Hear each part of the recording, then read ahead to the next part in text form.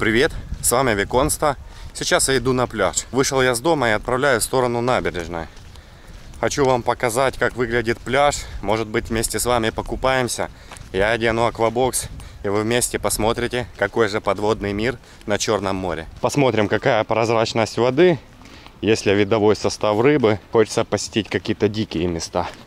Видите, народ уже идет домой с моря. Я тебе тут раз говорила, что да, не хочу туда идти. Ну, я С одной и с другой стороны есть дорога. Туда это в сторону набережной, а туда, он где идет тропа, вдоль мыса Алчак. Можно пройти и вот туда пойти наш на ту сторону.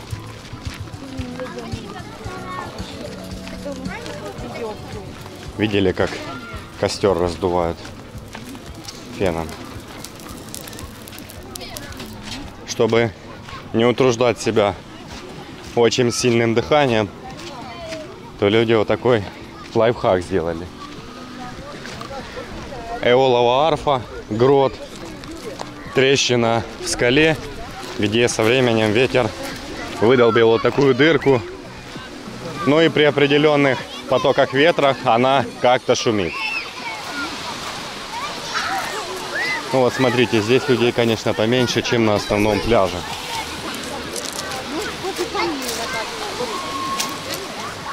Ну а мы пойдем в ту сторону. Конечно, хотелось бы понырять там, где никого нет. Все-таки, чем подальше от людей, тем лучше. Ну а вы любите какие места? Там, где толпы людей или когда людей очень мало? Осторожно, камнепад. Видите, здесь ступеньки сделаны. Также есть микробеседки, где можно отдохнуть и посмотреть на море. Некоторые люди вообще здесь стелятся и отдыхают. Конечно, по Крыму можно очень долго и нудно ходить, но есть определенные места, в которые вы должны по-любому посетить. Вот там люди с масками плавают. Конечно, есть на что посмотреть.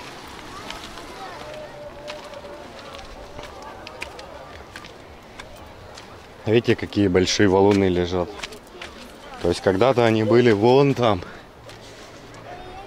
Смотрите, какая чайка сидит. Наблюдая за обстановкой.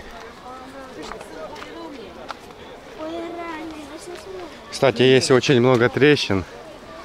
И со временем эти камни будут падать.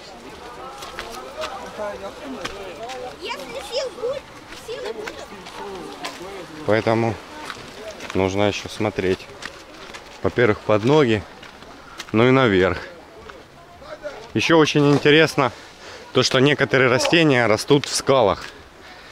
Соответственно, они питаются как-то. Вот представьте, там земли нет, ничего нет, а она как-то растет. Это трава или еще какие-то виды растений. Еще что очень хорошо, по периметру этой тропы сделаны вот такие урны. Поэтому мусор никуда не выбрасывайте. Желательно вот сюда все. И вообще лучше не сорить.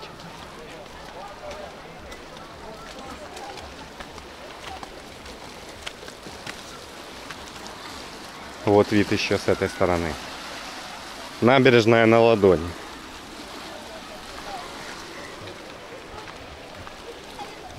По периметру здесь также сделана стенка, чтобы вы не сбивались с пути.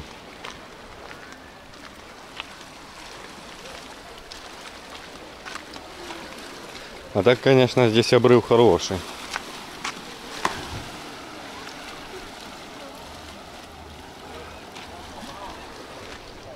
Камни очень интересные, с такими рисунками.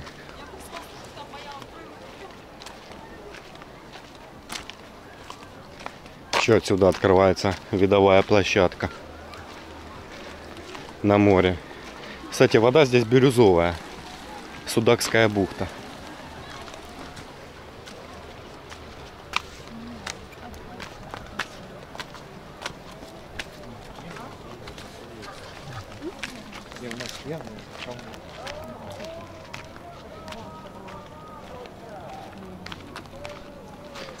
Видите, есть обозначение пешеходный туристический маршрут.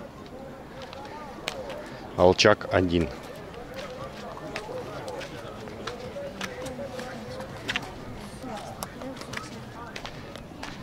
Видите, там тоже буйки кто-то поставил, чтобы далеко не заплывали. Но дело в том, что отсюда вряд ли как-то вы спуститесь. По идее, по историческим справкам, здесь есть подземные пещеры. Нужно будет побольше исследовать эти все горы, и тогда уже можно будет делать определенные выводы. Так как в горах есть трещины, и трещины там заполняются водой, и со временем образуются внутренние пещеры, которые снаружи вы никак не посетите. То есть нужно будет как-то снизу заплывать под водой, и вы окажетесь в них. Но это очень долгая и сложная история. Посмотрите, какие медузы. Но вам, к сожалению, не видно их. Но они огромные. Ну и вот сюда. Продвигаемся дальше. Там на таблетки катают он. Вокруг катамарана.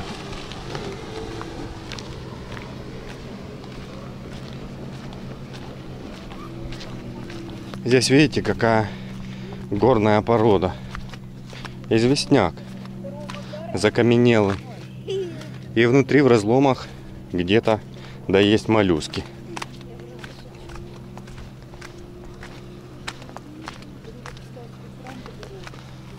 Вот там где-то можно будет покупаться. Посмотреть подводный мир. Все-таки здесь людей поменьше. Видите, тут уже сделали искусственные ступеньки.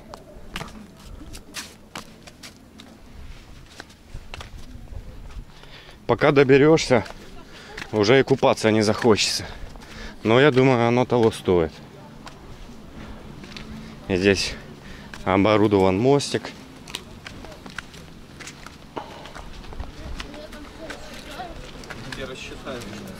Я думаю, там можно будет где-то окунуться.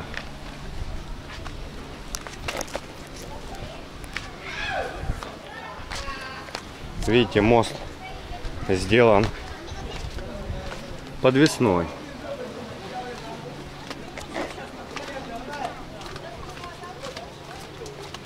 Даже вы не представляете, что вы над большим обрывом.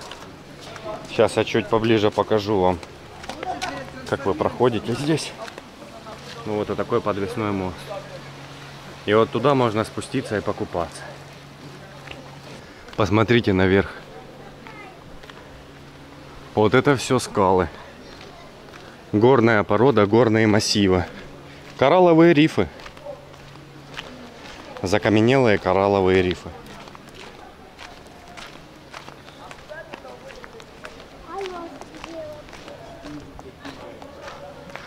Да, конечно, величество вы не ощущаете через камеру, но когда стоишь перед такой махиной, то кажется, вот-вот она упадет на вас.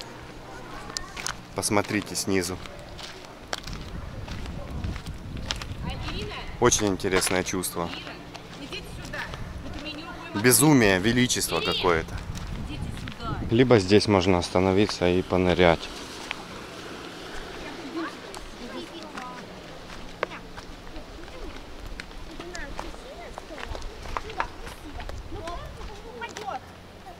Еще вид с этой стороны. Когда-то потихоньку это все равно обламывается. Мне кажется, после сильных, обильных дождей, когда почва напитана водой, и уже может это все обвалиться.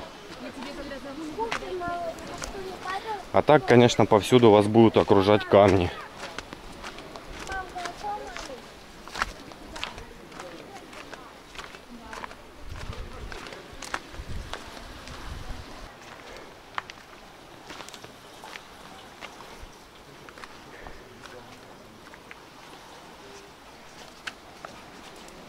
Ящерица поползла. Вот еще выход к воде через вот такое ущелье.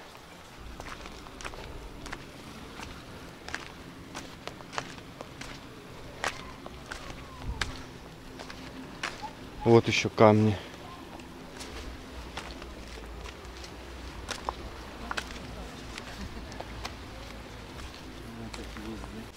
Вот, кстати, что-то похожее на моллюска.